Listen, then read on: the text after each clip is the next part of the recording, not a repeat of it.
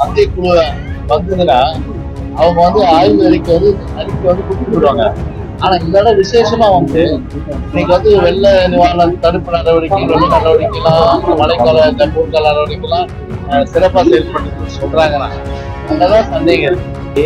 எங்கேயாவது வேலை செஞ்சா பாத்தீங்களா? ஏதாவது விமர்சனம் பண்ணாங்களா? இந்த ஆட்சிய ஆட்சி விமர்சனம் செய்யலையே. அப்போ ஒரு அண்டர்ஸ்டாண்டிங் ஒரு புரிதல். இது திமுக சொல்றேன்? இதெல்லாம் ரகசிய உறவு. மத்திய மத்தியில் இருக்கிறவங்க சொல்லாம மாநிலத்தில் வந்து இந்த வார்த்தையை வந்து வாய் மாட்டாங்க. திரு அண்ணாமலை எல்லாத்துக்கும் வாய் பேசுறது. அவ்வளவு தூரம் வந்து இந்த ஆட்சியில் அவ்வளவு மக்கள் கஷ்டப்படுறாங்க. ஏதாவது மக்களோட இந்த கஷ்டத்தை வந்து பாத்தீங்கன்னா ஆஹ், வெளிப்படுத்தினாரா? நாங்க தான் சொல்லிட்டோமே. இன்னைக்கே இல்ல நாளைக்கு இல்ல எப்போது இல்ல எக்காவது கொண்டு நாங்க வந்து பாத்தீங்கன்னா இனிமே பிஜேபியோட மதவாத சக்தியோட கூட்டணி இல்லைன்னு சொல்லிட்டோம். அதே ஆண்ல பிஜேபியோட கூட்டணி பொறுத்தவரை அப்படியே உறுதின்னு சொல்ல முடியாது. அதனால எத்தனை பேர் கலந்து வராங்க நெருப்பு போக போக தான் வந்து அது தெரிய வரும். இப்போ டீம் கூட்டின வேஸ்ட்டு அங்க போனாலும் ஒரு ரெண்டு ஒரு இடம் ரெண்டு இடம் வந்து ஜெயிச்சு ஒரு பாராளுமன்ற போலாம். அப்படின்ற எண்ணம் கண்டிப்பா வரும். வரும்போது என்ன எங்களை நோக்கி வருவாங்க? அந்த ஒரு காட்சி காணலாம் போயிடும். ஸ்டாலின் தான் வராரு வீடியோ தான் தர போறோம்னா ஸ்டாலின் தான் வந்தாருன்னு ஒரு தனிய வழி. தயவு யாரும் செல்ஃபி எடுக்காதீங்க. அந்த மாதிரி நல்ல முதலமைச்சர் செல்ஃபி எடுத்தாரு. உலகத்துல எப்போதும் ஒரு மேனியா இருக்கும் இல்லையா? அது மாதிரி ஸ்டாலின் என்பது சிலை மேனியா.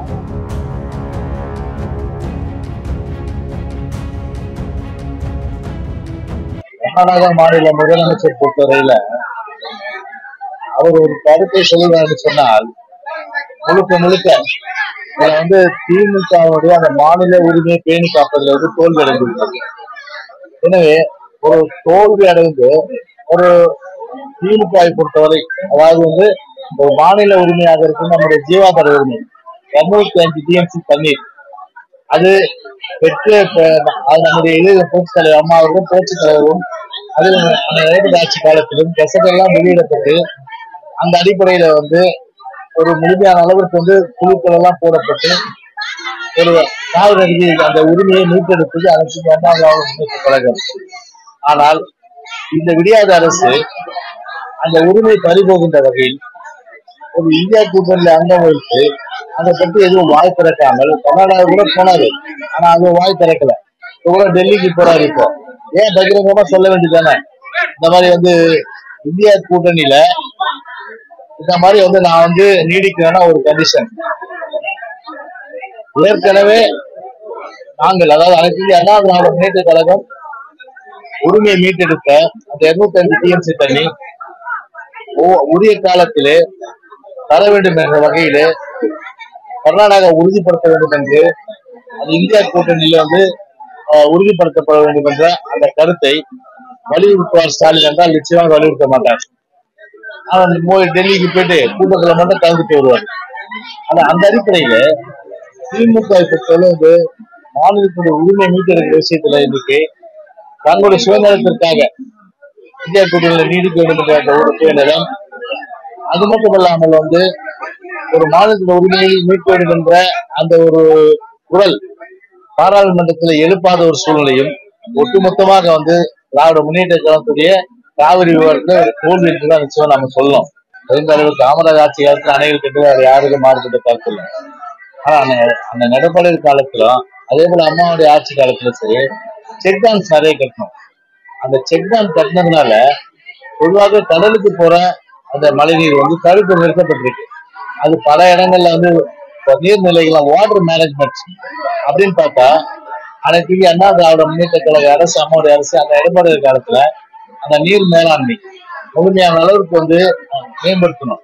உதாரணத்துக்கு வந்து வாய்க்கால் தூர் வருது ஆறுகள் தூர் வருது குளங்கள் தூர் வருது ஏரிகள் தூர் வருது அதே போன்று செக் டேம் கட்டுறது. இந்த அஞ்சு விஷயங்களும் இந்த ஆட்சி காலத்துல நிறைய செஞ்சேன் அதனால வந்து மழை நீர் வந்து கடலுக்கு போகாத ஒன்றா நிலத்தடி நீர் வந்து அதிகமாச்சு. எங்களை பொறுத்தவரை எங்களுடைய கடமை செஞ்சோம். ஆனா திமுக பொறுத்தவரை அந்த நீர் மேலாண்மையில அவர் வந்து ஒரு கிஞ்சித்து கூட எந்த வகையிலும் சரி ஒரு குடும்பத்தை கூட கிள்ளி போடுறது கிடையாது. நிதி வந்து அதிகமா கொடுப்பாங்க.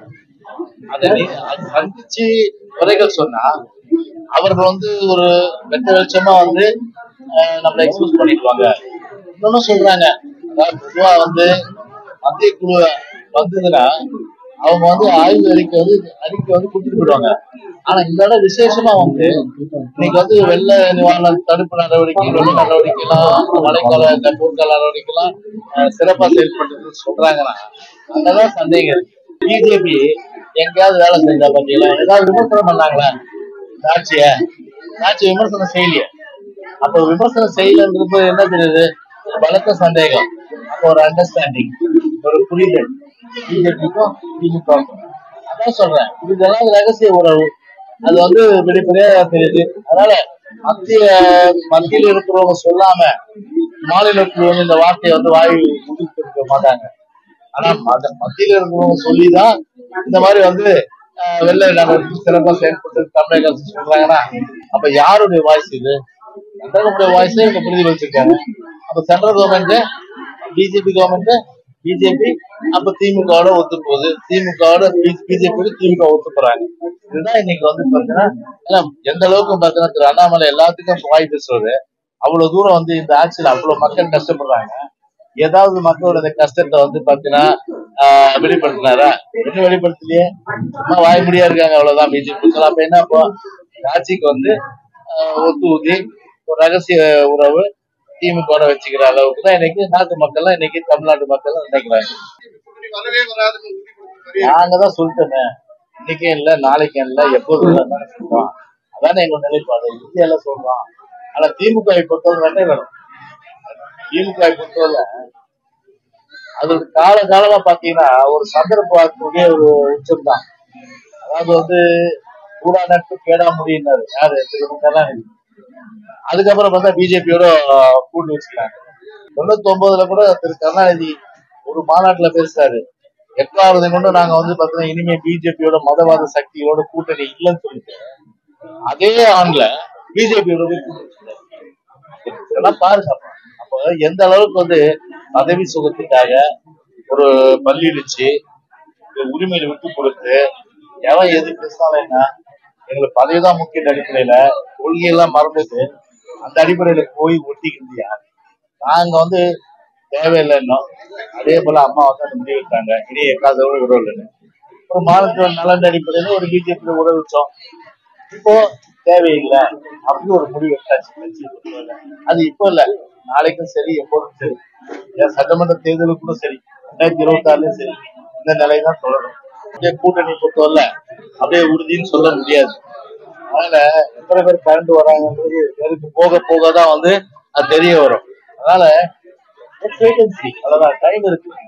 இப்ப நம்ம பூஜா சொன்னது மாதிரி கண்டிப்பா ஒரு மெகா கூட்டணி அமைப்பதற்கான எல்லா முயற்சியும் கட்சி அதுக்கு உண்டான முயற்சியில தான் நாங்க வந்து யாரையும் தேடி போக அவசியம் இல்லை. செல்வ பிரதர் சொல்றாரு. பக்கத்துல அந்த மாதிரி பேசுறதுக்கு. நாங்க யாரும் தேடி போக அவசியம் கிடையாது.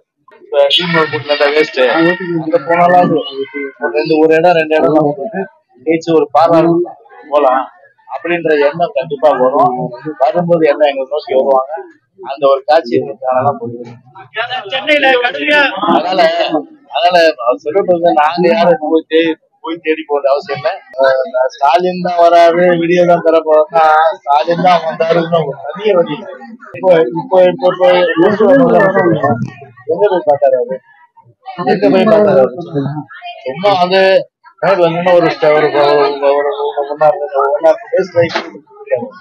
சரி அமைச்சர்கள் போனாங்க அமைச்சர்கள் எம்எல்ஏஸ் போனாங்களா போனாங்களா போன இடங்கள்லாம் மக்கள் சொல்றாங்க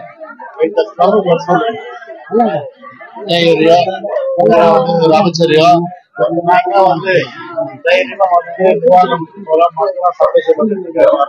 இ- இந்த இந்த டிவிஷனுக்கு கவுன்சிலர் வந்தாங்க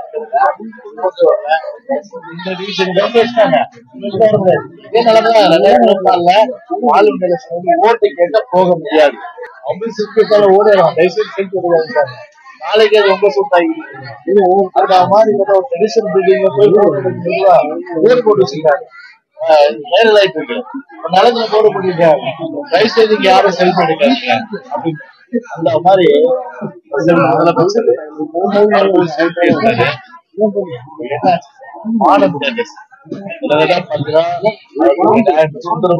உருவாக்கி பல படங்கள் உருவாக்குறாரு ஒவ்வொருத்தரும் ஒரு மேனியா இருக்கும் இல்லையா?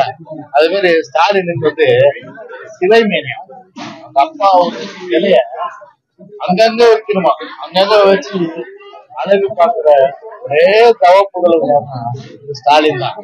அந்த ஆட்சிக்கு இருந்தோம் நாட்டு மக்களுக்கு நல்லது செய்வோம் அடுத்த நாளே ஒரு காலத்துல பாத்தீங்கன்னா வந்து கரெக்டா சுந்தரம் பொறுத்தவரையில சுந்தரம் பொறுத்தவரையில மாநிலத்துல அவருடைய பத்தாம் பிப்ரவரி மாசம் போய் முதலமைச்சர் கூட்டு பேசி அவங்க குடும்பத்தை வந்து கலந்து பேசி சொன்னோம்னா வேலைக்கு ஆகணும்னு சொல்லிட்டு இன்னைக்கு கலெக்டர் நிர்வாகத்தை விட்டு இன்னைக்கு வந்து அந்த நிலத்தையே ஆதரிச்சு வேலை இந்த அளவுக்கு அதாவது வந்து ஒரு வேலையே பயிர் நெய்கிற கதையால இன்னைக்கு ஆறாயிரம் ரூபாய் ஒரு பன்னெண்டாயிரம் ரூபாய் கொடுக்கலாம். அதான் நம்ம ஒரு செலவு சொன்னாரு. பன்னெண்டாயிரம் ரூபாய் கொடுங்க. இழப்பு அதிகம் வாழ்வாதாரம் பன்னெண்டாயிரம் ரூபாய் கொடுத்தோம்னா அவங்களுக்கு வந்து ஓரளவு கொஞ்சம் வந்து இந்த- இந்த வீடெல்லாம் நீங்க பாருங்க.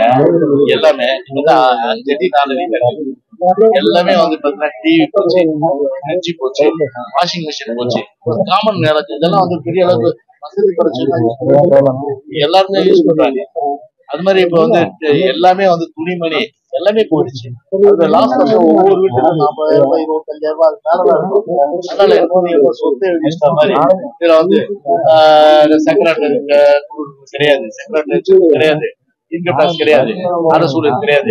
எல்லா அப்ளிகேஷன் ஒரு சும்மா நாமத்தை போட்டு அதை முடிச்சிட்டாங்க. என்ன ஆக்சுவலா வீடு விட கொடுத்தாங்க டோக்கன் கே- எல்லாம் கேளுங்க.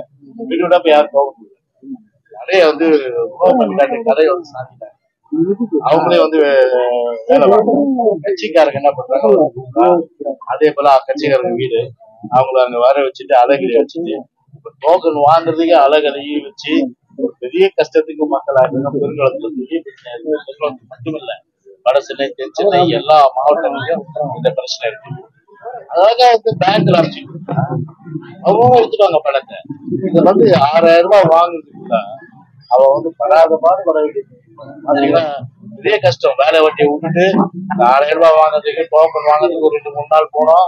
பணத்தை வாங்குறது ரெண்டு மூணு நாள் போனோம் அந்த நீதிமன்ற வரையறையே நெறிமுறையே வந்து இன்னைக்கு வீடு விட யாருக்கும் டோக்கன் இதுபோன்ற செய்திகளை மேலும் தெரிந்து கொள்ள எங்களது யூடியூப் ஃபேஸ்புக் மற்றும் ட்விட்டர் ஆப்களை சப்ஸ்கிரைப் செய்யவும்.